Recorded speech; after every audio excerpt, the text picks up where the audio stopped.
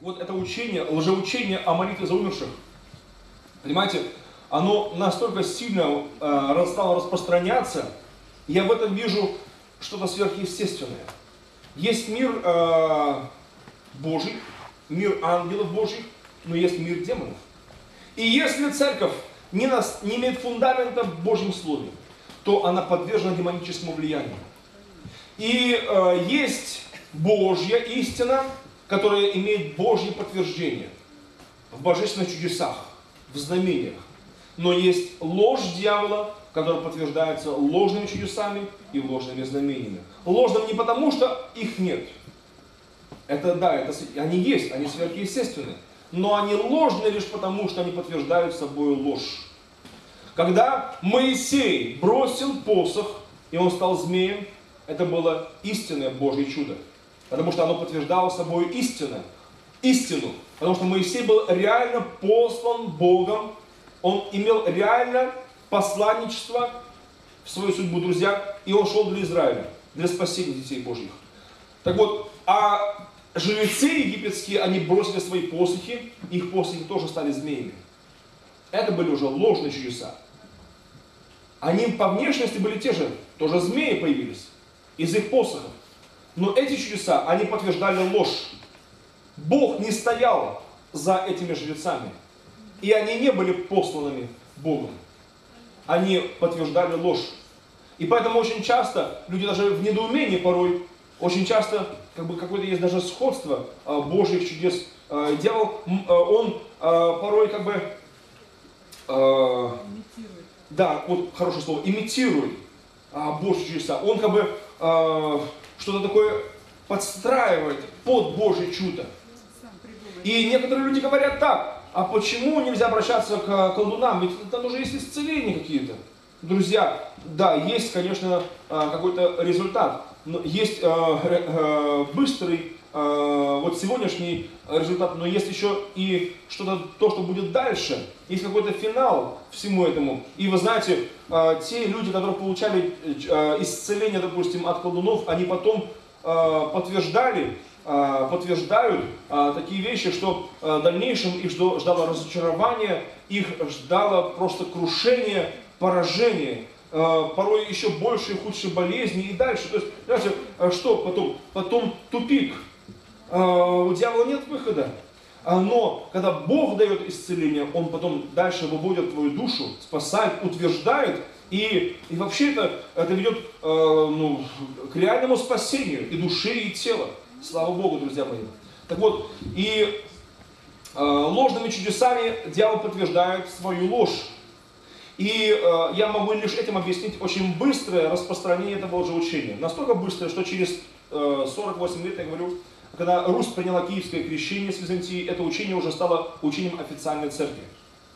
Через 48 лет это учение уже было общепринятым в официальной православной церкви, Греции, по крайней мере.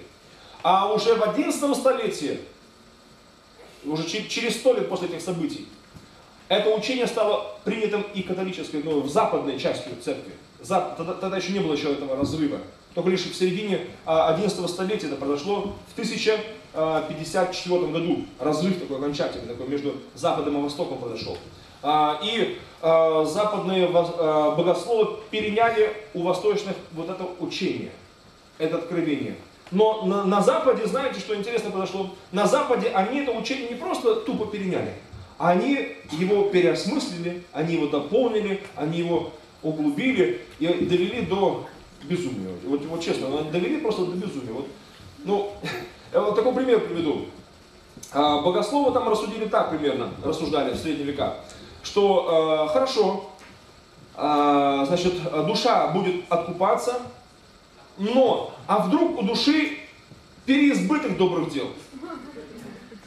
Допустим, если он всю жизнь на слабе прожил, значит, ну, Грешить ему даже чисто физически не получалось. Значит, и вообще, значит, и, и, и, он, и, значит, и он, ну, как бы, ну, волей-неволей он там, значит, там, значит, там только лишь э, осветился или когда освещался. Значит, и вот, и они такой вывод сделали.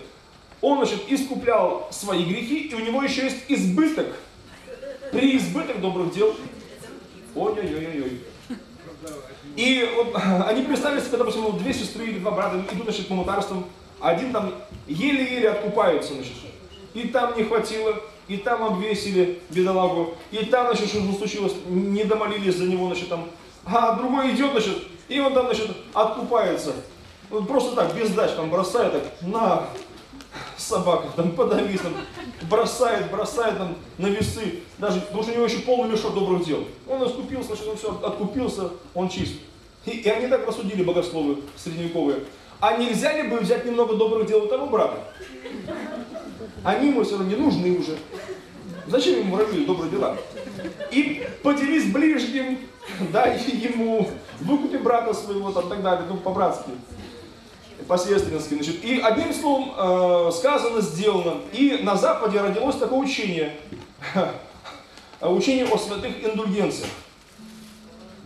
Учение о святых индульгенциях. Это не просто, это упрощенное представление о том, что индульгенция это прощение грехов за деньги. А смысл этого э, учения гораздо э, ну, серьезнее. А ведь э, там не просто от Бога э, получала э, душа а, освобождения, а якобы через заслуги каких-то других умерших святых получала душа освобождения от грехов. То есть не просто человек платил деньги за свободу от грехов, но он конкретно получал спасение не от Бога, а от этих умерших святых. И, а вы скажете, а как же монахи э, ну, додумались, и как же богословы это все продумали? Ведь это же ну, шутка или досок, нужно грешников спасти. А хватит ли на всех добрых дел? О, только платите. На всех хватит. Значит, дело в том, что богословы, особенно монахи, стали переписывать жития святых, дополнять их новыми фактами, э, невиданными и неслыханными вообще доселе. Вот, значит, э, и канонизировали направо-налево многих святых, значит, потом э, других деканонизировали, э, потому что поняли, слишком многих канонизировали, значит, э, так далее. И вот у этих святых нашлось очень много добрых дел, значит, монахи составляли новые и новые версии жития такого-то святого, где, где появлялись новые чудеса, новые его подвиги, новые самоистязания, такой садомазохизм какой-то религиозный, не знаю, не знаю, значит, но вот и, а, и говорилось, утверждалось монахами, смотрите, вот через их добрые дела этих монахов, этих подвижников, вы, европейцы, может быть спасенными. И в начале индульгенции, кстати, до сегодняшнего дня, официальная церковь католическая так и не покаялась в индульгенциях. И теоретически сегодня каждый католик может получить такую индульгенцию. До сегодняшнего дня, повторяю. Даже при всем при том, что покойный папа Иван Павел II много сделал прогрессивного, он так и не посмел поднять руку на это учение, лжеучение. Я надеюсь, что нынешний папа Бенедикт XVI, он все-таки сделает это. Хочется верить, что наши братья-католики освободятся от этого страшного ерма, страшнейшего лжеучения, лжи. И, друзья мои, так вот, что произошло. Понимаете, как это происходило? Допустим, э, вначале это было лишь для умерших. Вначале не шла речь о живых членах церкви. Вначале лишь за умерших переживали. Э, значит, как бы, ну, платили живые, конечно, понятное дело. Допустим, приходил ты в костел к батюшке и говорил, вот так и так вот, отец Ксенс, вот, э, э, снится мне там умершая моя мама там, или кто-то еще, значит, знакомый какой-то или знакомый или родственник, и э, что-то неважно выглядит он значит, там, э, в этом сне. Батюшка значит, сразу смекал, к чему дело, значит, и говорил, выясни, пожалуйста, или выясняйте, пожалуйста, в кругу семьи, э, чем была грешна эта душа при жизни. Выясняли родственники, чем она была грешна, что-то вспоминали старое, что-то, значит, там, ну, одним словом, э, они находили какие-то откровения об этом приходили снова к священнику и говорили, душа грешна была тем, тем, тем. Э, священник э, все это подсчитывал тщательно, потому что э, по ватиканским этим расценкам, допустим, такой-то грех стоил столько-то денег, такой-то грех, прощение такого-то греха стоило столько-то денег, прощение такого-то греха и таких-то грехов стоило таких-то денег. И были продуманы расценки. Одни расценки были для простых христиан, другие были для элиты, и, конечно, если короли каялись, то они, они по-королевски и рассчитывались. Вот, значит, и а, по-королевски грешили, по-королевски рассчитывались. Значит. Вот, значит, и а, что получалось? А, люди платили деньги за а, прощение грехов своих умерших родственников, знакомых, друзей. А если кто-либо сомневался в этом, ну, вообще с оппозицией боролись раньше очень просто. На костер, значит, как бы, значит, и как бы насчет фамилии не спросят, значит, вот, хотя а, были и другие методы убеждения. Допустим, монахи некоторые доставали специальные из Ватикана книги, иллюстрированные, с картинками, раньше не было э, фильмов этих, все по картинкам. И э, эти картинки напоминали э, комиксы ужасников каких-то. А, потому что там были, допустим, описывались большие сковородки, на которых во фритюре бедных грешников поджаривали, всякие э, скороварки, значит, там, для других грешников, значит, э, всякие там, значит, там, одним словом, значит, э, всякие страсти, мордасти такие. Вот, э, и э, священники объясняли, вот если вы не заплатите за своего родственника, мы вам скажем, чем, чем это э, обойдется э, вот эта душе, ваше упорство, такое, ваша жадность вас жаба, понимаете, давит, а его там будут давить, значит, там бесы, значит, конкретно, значит, и будут а, по полной программе над ним издеваться. А, такое-то время, а, такими-то пытками, такое-то время, такими-то пытками. Конечно, люди жалости порой продавали свое там, имущество какое-то даже, самое необходимое, и выкупали эти бедные души. Есть по этому поводу масса анекдотов вообще, значит, э, самих же, сами же католики рассказывают их. Я в монастыре католическом наслушался их вот так вот. Вот, значит, один расскажу. Но, ну, говорят, говорят э, в Польше, что был реальный случай такой, вот э, стал просто как анекдот. Э, одна женщина, она очень сильно переживала по поводу смерти своего мужа. Говорят, это было в Гданьске.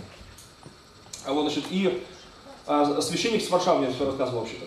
Вот, значит, что жена переживала по поводу смерти своего мужа, и она при, пришла в один из костелов, и, где она поселилась, э, и значит, э, недалеко от, дома своего нового. И она много э, платила за душу умершего своего мужа, знала, что он был грешником большим, значит, она хотела его выкупить. Она была такая искренняя, такая католичка. Вот она много очень платила, священники совершали службу, а он ей все снится и снится, и очень неважно выглядит каждый раз. Вот, и однажды она пришла уже в отчаянии к священнику, говорит, отец Ксенс, вот так и так, ну я просто, ну, вообще, ну, а, не знаю, ну и а, уже денег уже, уже как бы нет, уже все, а у меня снится, и все ему очень плохо как-то а, там в загробном мире. И этот Ксенс, я не помню дословно, но примерно так вот звучала а, эта мысль с польского, значит, что я как бы чувств, он сказал так, как бы, я чувствую, что он уже вот близок к спасению, как бы вот еще, ну, еще немного, как бы, и он уже будет уже в царстве, просто он сейчас, ну, как бы еще брыкается, ну, бесы до его не дают, значит, я уже даже в духовном мире, как бы, его там, ну, волосы шевелю, и уже, как бы, перевожу его туда, уже в рай уже, только, ну, еще доплати, еще там, и уже последний рывок, короче. Такой радикальный нужно пожертвование сделать. И, и вот, значит, э, и, э, а эта женщина, с ней истерика была, правда, говорят. Значит, и она, значит, э, сказала следующее, что говорит, отец Ксенс, бросьте того мужика. Это не мой муж. Мой муж был лысый с самого начала.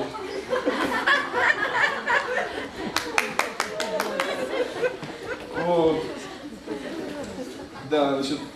Ну, друзья, э, вы знаете, значит, э, я скажу так, что Вообще-то у Эразма Роттердамского, значит, э, там, значит, э, вещи, вещи есть покруче, конечно, из реальной жизни э, средних веков тогда в Европе. И вот, значит, и в его похвале глупости там еще потрясающая есть иллюстрация. И вот, значит, и, и вы знаете, значит, богословы не успокоились. Вы знаете, бесы подтверждали ложными чудесами вот эти ложные учения. Потому что по Европе целая волна прокатилась этих сновидений. Люди видели своих умерших вдруг ни с того ни с сего в плохом состоянии. С крючками, значит, там, так далее, значит, и, э, с другими э, видами пыток значит, на, значит, на теле. И э, эти э, европейцы несли деньги свои, значит, э, выкупая души умерших своих. Но этого было мало. Для религиозно-мафиозной коррумпированной структуры этого было мало. И было придумано следующее. А почему нужно ждать смерти? Нельзя ли при жизни иметь добрую совесть? Кстати, а вот то, что покупали для умерших, да, это были индульгенции с печатями, с подписями, то есть, ну, как бы, ну, все вроде бы, не знаю, были ли там водяные знаки, не знаю, значит, но вообще-то э, это была настоящая бумага, заверенная Ватиканом, значит, э, все было, значит, честь по чести. И люди верили это, этой бумажке, понимаете? Люди верили этому всему. А потом, когда богословы сказали, а теперь мы делаем продажу грехов, прощение грехов за деньги для живых. Зачем тебе умирать? Сейчас заплати, имей добрую совесть. Вот, и, и, друзья, значит, и, э, и люди приходили на исповедь и говорили, там, к примеру, например, ты приходил на исповедь и говорил, что батюшка, я грешна, значит, ну, конкретно. Вот, это было не просто праздное любопытство, значит, э, или телефон доверия, значит, э, батюшки, э, это, это было еще и своего рода бизнес был, выпытывать все грехи у души. Потому что пока ты говорил, значит, называл свои грехи, батюшка там считал счетами в этот, в этот момент, он, он уже фиксировал эти грехи. Вот, и потом в конце говорит, вот заказ заплатите, вот, и вам выдадут сертификат, что вы прощены, ваши грехи прощены. А если душа упиралась, опять-таки были методы убеждения очень серьезные, книги доставались, там все подробно расписывалось, рассказывалось подробно все. Ужасники такие. Конечно, значит, ну, человек маломальски себя ну, как бы уважающий значит, и как бы переживающий за свое здоровье, значит, хотя посмертно даже, значит, ну, он, он как бы, он платил. Вот, и, э, друзья, эти сертификаты скапливались у людей на квартирах о прощении грехов, прощении грехов. И когда европейцы эти умирали, им в гроб, в гробницу прям ложили эти сертификаты, в руку прям, в скатку там и так далее, значит, ложили.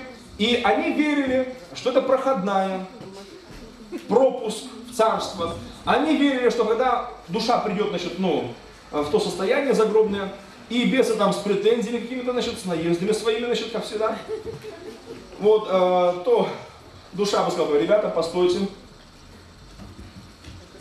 за все заплачено. Раз так развернул, за все заплачено. И при том рядом с серебром и золотом. Там, наверное, бесы в шоке были, наверное. Что вы там на земле вообще там? Вот, и э, ну, люди в это верили. Они так жили, они так верили. Ну, конечно, была оппозиция, это были те, кто не, не, не верил всему этому, но я, я повторяю, что эту оппозицию сжигали на кострах. Или же, или же под пытками они э, предавали свою душу Богу. А, и, допустим, был такой в то время один, э, ну, самый такой известный, такой изувер, такой э, монах, инквизитор Фома Тарквимада. А, Фома Тарквимада, его имени боялись, не только в Испании, вообще его имени боялись во многих странах Европы, потому что он лично сжег порядка 10 тысяч человек. Лично он сжег. Плюс еще примерно столько же он совместно участвовал в других казнях, значит, примерно столько же людей. А, и при том, что большинство осужденных, которые попали ему в руки, они до смертной казни не доживали.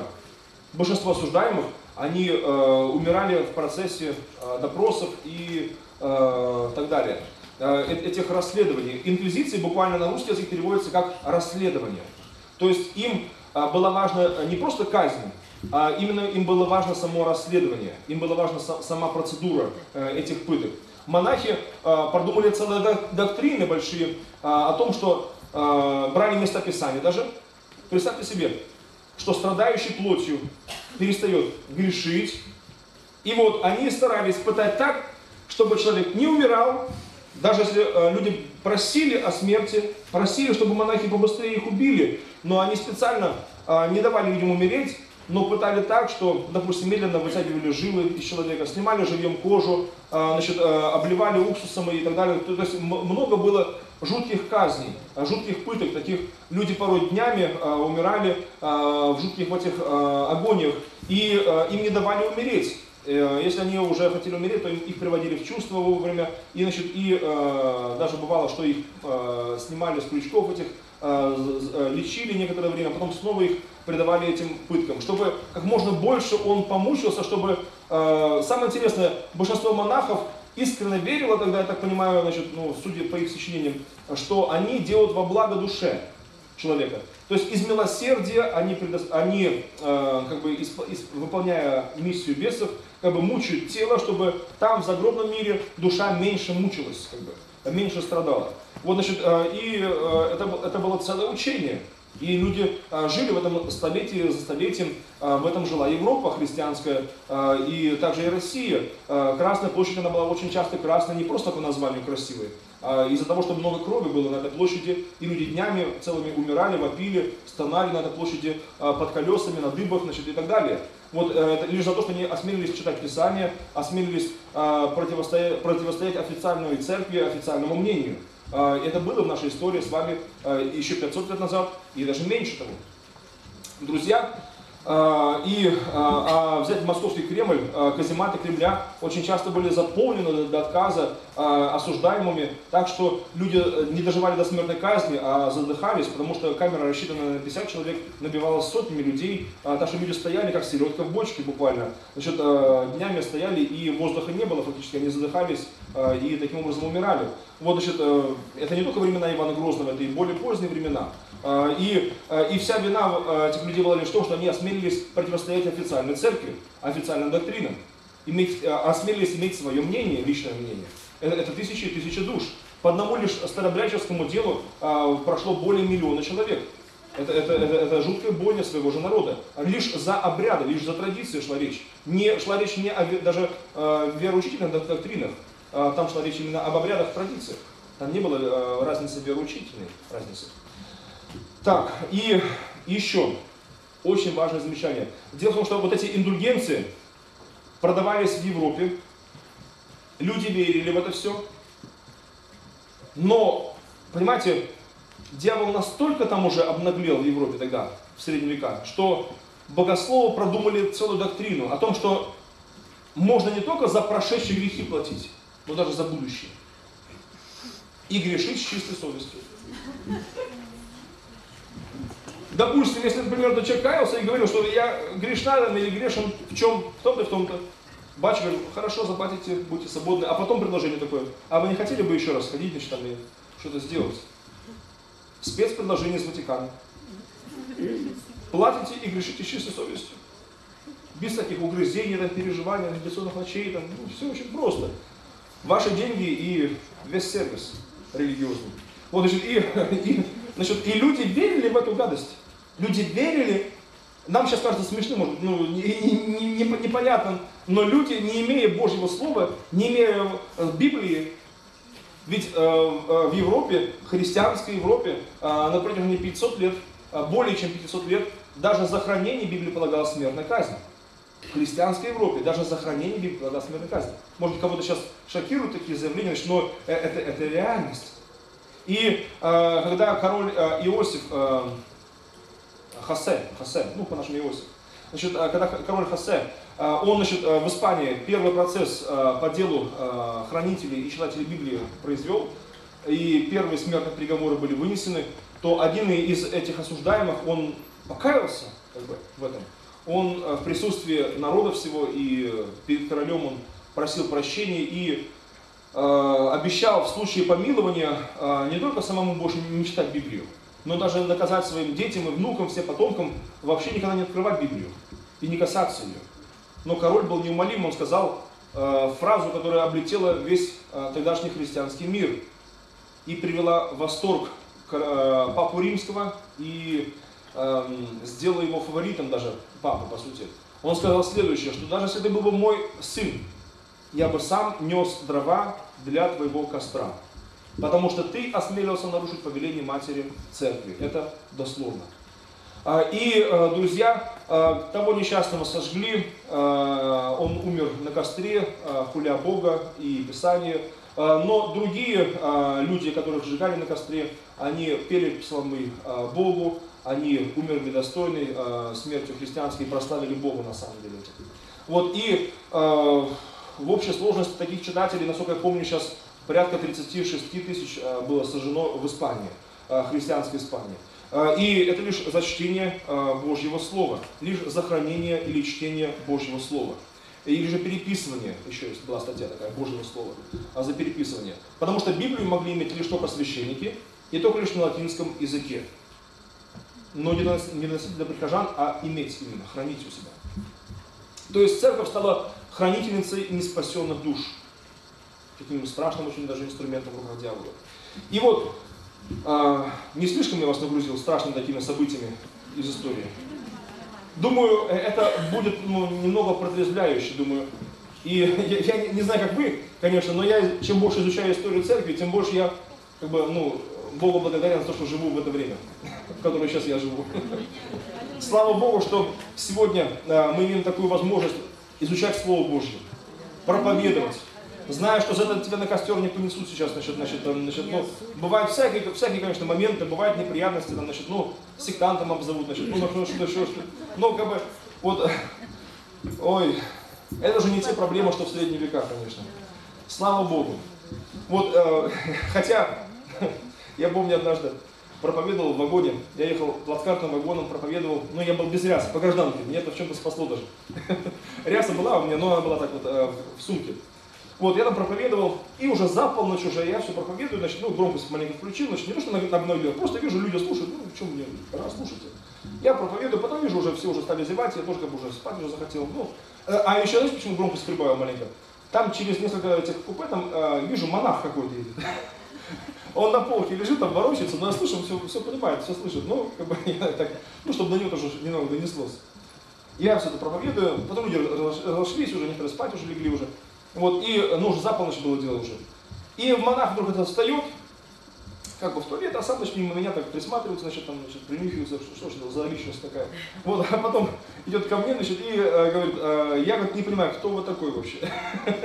В вашей проповеди вот, звучало и православное, и какая-то баптистская, там, и так далее, там много всего было. Значит, кто же вот такой? Я так э, начал издалека, так вот, значит, э, и вы знаете, что дух из него проговорил, э, который его, э, тот дух, который его, этого монаха, контролировал, э, дух инквизитора. Вы знаете, я впервые это в своей практике это увидел, а, потому что люди рождают, рождаются и умирают, но дух он не умирает. Знаете, это бессмертное существо, это, а, это, он может контролировать разные, разные поколения, а, даже родственников. Он может контролировать разных людей и в средние века, и в новое время. И в принципе поэтому из этого возникли всевозможные неправильные понятия у людей о, о многих воплощениях, многих жизнях. Им кажется, что они вспоминают какие-то факты из своей прошлой жизни. Это лишь потому, что бес имеет возможность контролировать э, его душу. Те самые порой, которые контролировали, допустим, его каких-то знакомых прош... ну, прежних поколений, там, значит, там, э, родственников его, значит, или каких-то там и могут сообщать информацию какую-то значит, о прежних, уже умерших давно уже людей. И а, а человеку все это ну, внушается, он это все воспринимает как свое, свои воспоминания. Это очень, очень скользкий путь такой. И, друзья мои, так вот, и этот монах, вы знаете, он разговаривает нормальным голосом, а потом вдруг я наблюдаю, я сижу перед ним буквально, я наблюдаю такую картину. Представьте, глаза вдруг его становятся, как будто бы не его. Металл. Вот, ну, видели, не знаю, ну, металлические глаза просто вообще. Металл настоящий. И металлическим голосом таким, вот не его вообще, а это даже голос какой-то такой, ну, неестественный какой-то такой, нечеловеческий какой-то голос, на самом деле, неестественный. И не громко, но отчетливо и четко он сказал следующее. Таких, как ты, раньше вот сжигали и правильно делали. А вы знаете, потом я вижу его уже, ну это потом было уже нормальные глаза. Я понял тут же, внутри, как бы, что подсказка была, что это, это не он сейчас. Это не он, это конкретно не его голос, не его глаза. А, этот холод, это был не от него, это совершенно другое существо сейчас, которое его контролирует. Я а, внутри просто призвал кровь Иисуса, и я а, стал говорить о кресте, Господнем, я стал говорить о Голгофе, о крови Иисуса Христа, я стал говорить о спасении через веру в Иисуса. Я говорил, говорил, говорил. Он еще вставлял пару фраз, но в принципе как бы говорил я. И эм, Господь просто э, взял контроль такой над э, его э, помышлениями, и они были приняты в послушание Иисусу. Это было удивительно наблюдать. И вы знаете, э, он э, в конце уже, значит, уже ушел, когда он лег спать.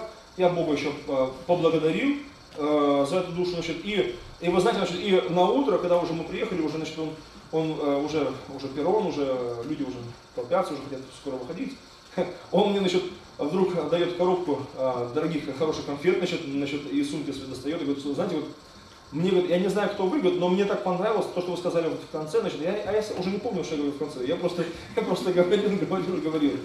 Вот, значит, и, э, значит, э, и Понимаете, значит, э, и говорит, что хотя вы говорит, не совсем того православный, значит, но вы, значит, ну, Он подчеркнул, что Христов.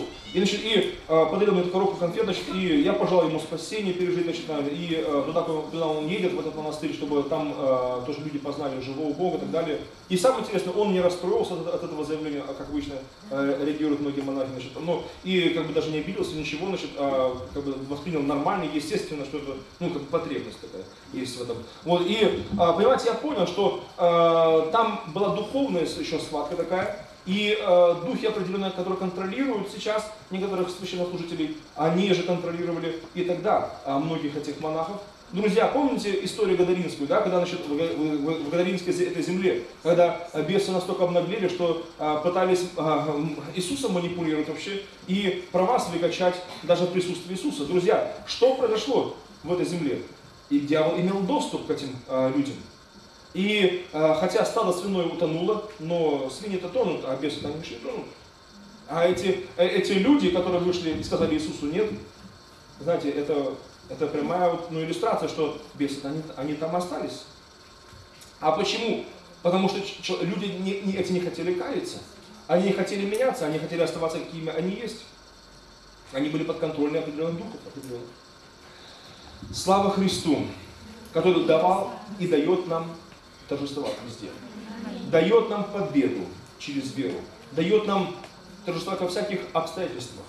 И ночью, днем, в разных ситуациях, на дороге, дома, где бы мы ни были. И написано у Иоанна следующее в соборном послании. Дети, не бойтесь их, ибо тот, кто вас, больше того, кто в мире. Аминь.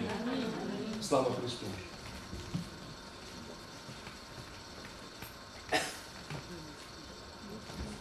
И еще два слова о заблуждениях этих, о молитве за умерших. Дело в том, что именно учение, лжеучение о индульгенциях, практика этих распродаж индульгенций этих, ведь распродавали э, направо-налево эти индульгенции, и при том были скидки даже, до 50% были скидки в честь, допустим, престольного праздника или Рождества, или Пасхи. Это, это не в супермаркетах придумали, это хацамонахи придумали в средние века еще, гибкую систему скидок. То же самое оптовым а, покупателям были скидки, если ты покупаешь сразу много прощений, много индульгенций, тебе скидки были определенные. Поэтому люди старались а, закупаться, так закупаться, полную корзинку, что называется.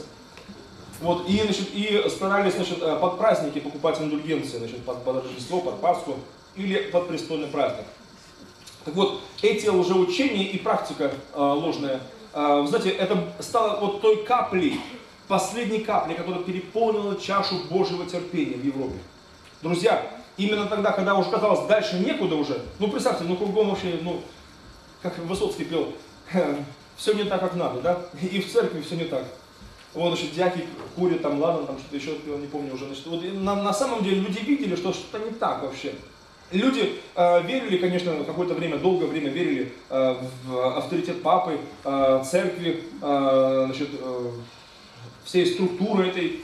Э, и, и внушали из поколения в поколение, что у нас самая хорошая церковь, у нас самое классное учение, у нас вообще самое истинное христианство и, и все такое прочее. Но люди видели, что как бы, вроде все самое хорошее, а почему-то жизнь-то не клеится. Почему-то проблемы, они нарастают, как снежный ком вообще. А куда дальше вообще идти? Ну, вдумайтесь только, друзья. Когда а, Урбан II, этот первый папа римский, который э, узаконил э, джихад такой православный, э, католический, э, значит, священную войну такую, крестовый поход объявил первый. Если вы помните, это был 1600, э, 1096 год. А, первый крестовый поход. И а, Папа Римский Урбан II заявил следующее на собрании большом, а, это было в 5, 95 году, в, у себя. Он заявил следующее, что каждый участник крестового похода получит полную индульгенцию. Он заявил, что если участник этого похода, крестоносец, если убьет хотя бы одного еврея или хотя бы одного мусульманина, он получит полную амнистию, полную индульгенцию всех своих грехов прощения пожизненно. И, э, друзья мои, люди в это поверили. Порядка миллиона европейцев стало под ружье. Миллион человек собрать. Никому не удавалось до, до папы римского Урбана такую армию гигантскую собрать. И, э, друзья, и люди верили в эту ложь, люди, э, не знаю, вот историки пишут, что крестоносцы, большинство гибло даже не от сабель арабов, а, простите, от дизентерии даже больше погибало, чем от стрел и сабель арабов. Потому что они, иллюстрируя, показывая свое, свое преданное отношение к церкви и свое христианство, такое в кавычках, демонстративно не мыли руки и с немытыми руками ели. Потому что если мыть руки перед едой, это означало показать свое сомнение в истинности догматов католической церкви. Это означало по тем временам попасть под как бы, э, прицел монахов-инквизиторов. Это означало э, показать свое как бы, сочувствие мусульманам, которые омывались регулярно, э, ритуально, или же евреям, которые тоже соблюдали значит, правила и постановления всевозможных о, о омовениях. И э, они брали, монахи тупо брали некоторые места Писания и извращали их. Якобы, что ученики Иисуса должны быть демонстративно неряхами и грязнулями, не есть, э, и должны есть с неумытыми руками. А вот фарисеи, все сектанты, они моют руки перед едой. Вот, вот такая, такая иллюстрация. Даже а, в Европе, допустим, во Франции, в Испании а, запрещалось принимать, а, допустим, ванну, значит, даже аристократкам реже там, ну, я не помню какого срока, но для обычного европейца примерно раз в полгода позволялось провести полное омовение своего тела. Раз в полгода. Вообще во Франции, на юге Франции, шла борьба с сектантством, раз в году был указ такой лишь полностью мыться. Вот, значит, это был ну, страшная антисанитария, узаконенная церковью, а, а, канонизированная, возведенная в ранг а, святости. Вот, конечно, значит, э, э, в общем-то, ну, представьте себе, значит, э, когда человек, значит, он значит, долгое время не моется, вот, значит, от него святостью, как принято говорить, аж пре. Вот, ну, конечно, не настоящей святостью, конечно, значит. Вот, и, друзья, вот такие были условия, жуткие условия. И э, к чему это приводило? То, что, э, э, понимаете, эти крестоносцы, э, во-первых, э, они принесли лишь поражение. Папа Римский обещал много золота, золота на Востоке столько много не было, как о нем рассказывали. Вот э, евреев там истребляли, мусульман э, с мусульманами воевали, но как бы э, вроде бы прощения грехов добились, как бы индульгенции добились, но а что дальше? Но многие крестоносцы поправили свое состояние э, за счет продаж, э, допустим, святой земли, значит, там, святой воды с Иордана, значит, там, волосы таких-то святых, э, э, множество мощей было привезено в Европу с Палестины, значит, и в общем-то, этим маленько они подзаработали, но все равно э, очень сильно обеднели. Э, и дальше больше, друзья мои, там даже такие мощи были чудные, даже сейчас не выставляются. Якобы даже э, немного от э, плоти Иисуса Христа что-то осталось. Вот, значит, э, а именно якобы обрезание как бы, Иисуса Христа, будем так говорить. Вот, значит, и э, крестоносцы якобы это все обнаружили, привезли и за бешеные деньги продали одному из графов, значит, э, или герцога, не помню, значит, на Западе. И до сих пор э, в Италии, в Ватикане это выставляется на, на обозрение, не постоянно, но можно паломникам это все лицезреть значит, и поклоняться значит, всему этому, значит, но это жуткая вещь. Один э, брат с посольства Божьего из Киева, он регулярно бывал как раз в Италии по вопросам бизнеса больше, но и он часто в Ватикан приходил, там, собственно, один квартал, вот тебе Рим, вот тебе и Ватикан уже. Вот, и э, бывал в костелах в этих, и э, там в одном из костелов он видел целую такую кунсткамеру, как бы, можно выразиться, значит, там э, челюсти таких-то святых, значит, э, э, ребра таких-то святых, значит, там, значит, там позвоночник таких-то святых, значит, там, короче, много всего было, много-много всего, а в конце, вот, в Золотом Нарце, и написано, я думал, может быть, у меня э, с итальянским что-то проблема какая-то, или с английским, но там написано было обрезание Иисуса Христа. И этого священника, якобы когда Иисуса обрезали, обрезки, или как это назвать, не знаю, что мама Мария якобы это все спрятала и сохранила для будущих потомков. Значит. Вот, значит, и, э, и я как спросил этого Ксенса, э, богослова, в этом храме, говорю, ну как же так вы, ну, современные люди, значит, значит, э, э, интеллигентно образованные, как же вы это, ну, прокомментируете это все, безобразие? А он сказал, знаете, это вопрос веры. Как говорится, без комментариев. Вот, и, конечно, в Библии говорится очень просто. О Оси сказано так, Бог говорит, гибнет народ мой из-за недостатка ведения. И там же написано, невежественный народ гибнет.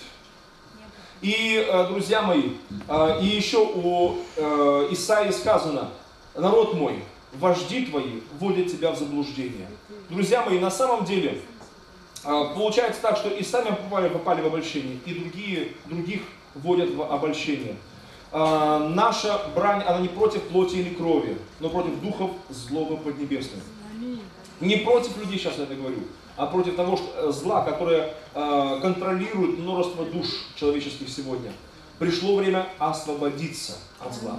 Пришло время свободы. Темницы рухнут, и свобода нас встретит радостно ухода. И мы, братья, меч дадим, да? Аминь. А меч у нас один, это Слово Божье. Встанем, друзья мои.